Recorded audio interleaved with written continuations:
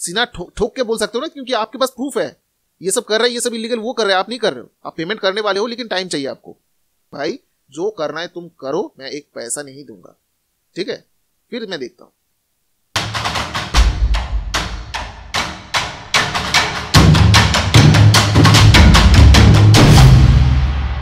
दोस्तों, एक ऐसा एनबीएफसी है, जो कि मैं आप लोगों को बोल रहा हूँ, मैं बोल रहा हूँ आप लोगों की एक रुपया मत देना उनको।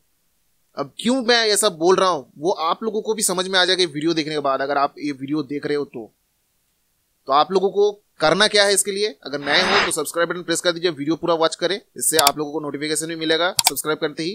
और वीडियो पूरा देखने पर क्या होगा? इन्फॉर्मेशन सही मिलेगा, क्योंकि आज के टाइम में 2024 में बहुत सारे ऐसे चीज़ें होते जा रहे हैं, जो कि लोग डर रहे हैं। ये जो मैं बोल रहा हूँ, हर वीडियो में बोलता हूँ कि पैसा तो देना ही पड़ेगा, लेकिन मैं आज ये क्यों बोल रहा हूँ? कि एक फूटी कौड़ी मत देना, ये जो एनबीएफसी के बारे में बहुत बात करूँगा आज इस वीडियो में।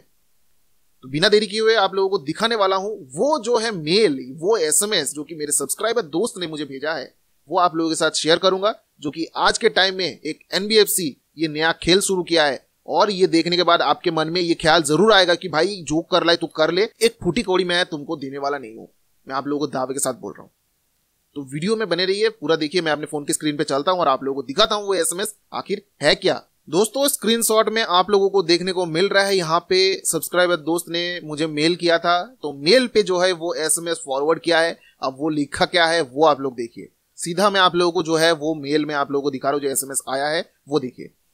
ये एसएमएस किसके पास गया है, वो भी मैं बताऊँगा। लेकिन कौन भेज रहा है, ये भी देख लीजिए सबसे पहले, कि लिखा क्या है चेक वीडियो एक यूआरएल दिया गया है where had agreed to repay loan on M pocket help them clear their loan of rupees thirteen thousand two hundred eighty over due by three hundred seven days पर S का मतलब क्या days का लिखा है शायद।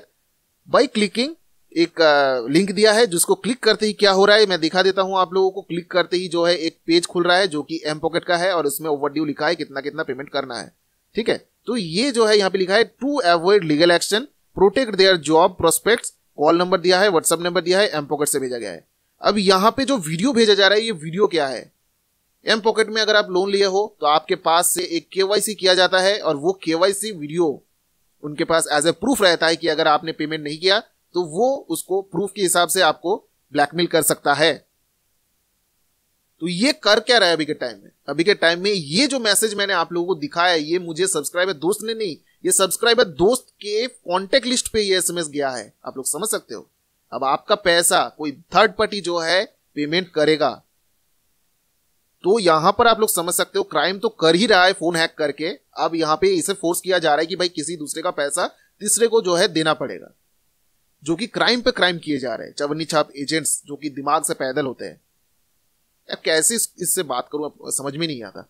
अब बात यहाँ पे है कि जो भी चीज़ें हैं, अगर मानो पैसा तो आप देने वाले हो, जो भी अमाउंट ड्यू है, आपको टाइम चाहिए, आपने मेल किया था, या फिर कुछ भी हो, आपने बात किया था तो उन लोगों को टाइम तो देना होगा, अगर उससे आगे ये लोग बोले कि भाई हमको अभी पैसा चाहिए, तुरंत पैसा चाहिए, एक घंटे के अंदर पैसा चाहिए, जो इंसान पैसा अभी नहीं है उनके पास, वो पैसा कहाँ से आपको पैसा देगा? कंपनी को पेमेंट कैसे करेगा? उसका जो है सेविंग्स खत्म हो चुका है, उसका फैमिली है, वो सब फैमिली वगैरह, वो सब देखता नहीं है कोई भी कंपनी ठीक है? तो वहाँ पर सिर्फ़ और सिर्फ़ पैसा ही मायने रखते हैं। आप मरो या फिर जियो, यहाँ पे कोई भी फ़र्क नहीं पड़ता कंपनी सिर्फ़ ये लोग करेगा क्या? कि आपको ब्लैकमेल करेगा, आपको डराएगा, आपको धमकाएगा और ये सब गंदा गंदा चीज़ें करेगा। कोई मायने नहीं रखता, कोई सेंस ही नहीं रखता। भाई, आपका पैसा कोई दूसरा क्यों चुकाएगा? देगा क्यों? आप जब लोन लिए थे, तब क्या उन लोगों से पूछा गया था कि भाई, ये जो भी है लोन ले रहा है, अगर ये पैसा नहीं दे पा रहा है तो कोई थर्ड पार्टी पैसा दे देगा? या फिर जिसको फ़ोन करे, वो पैसा पेमेंट करेगा? तब पूछा था। नहीं पूछा था। लेकिन आप जो है डिफ़ॉल्ट करने के बाद ये सब कर रहा है।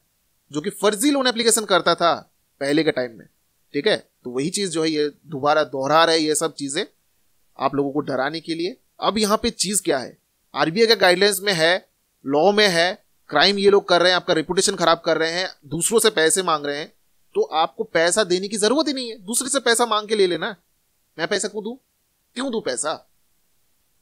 एक फूटी कौड़ी नहीं दूँगा। ये बोलना है आप लोगों को। हालाँकि देना है आप लोगों को, लेकिन अगर इस तरीके का बर्ताव करता है आपके साथ तो आप लोगों को उसी तरीके से जवाब भी देना है।